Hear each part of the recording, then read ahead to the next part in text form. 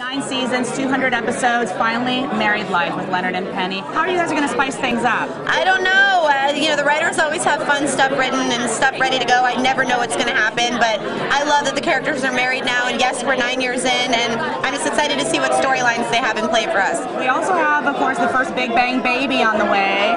Is Penny going to maybe take on more of an aunt role, or is she going to get baby fever? How's this baby going to affect her? Probably more of an aunt role. I don't think she has baby fever. I, Not yet. No, I don't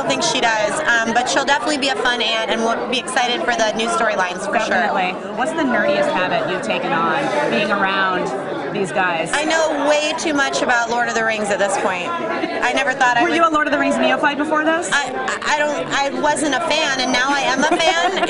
and no, it's weird. Now I know so much about it, and Harry Potter and all this stuff. So I, I guess I've kind of tapped my like a cultural osmosis. a little cultural. Yeah. So yeah, I'm, I'm really okay with it. It's all right. Awesome. Okay, thanks so much.